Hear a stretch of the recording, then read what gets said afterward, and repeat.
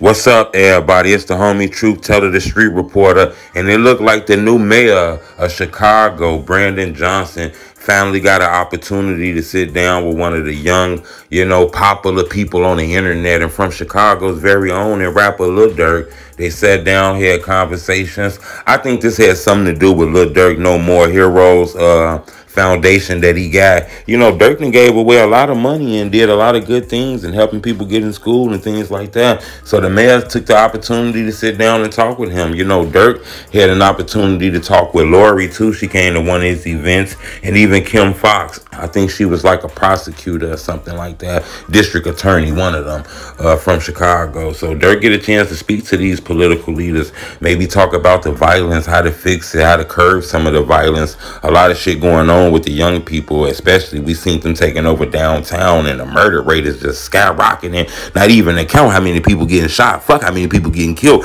You know how many people getting shot a year in Chicago? Shit in the thousands, you know. So I think they're having conversations about this. You know, you hear the speculation of people not liking this because of you know it's a such thing called the other side, but I think uh, Brandon Johnson looking at this from a bigger standpoint. Now, the other shit people probably got to say about this, I get it. I understand that.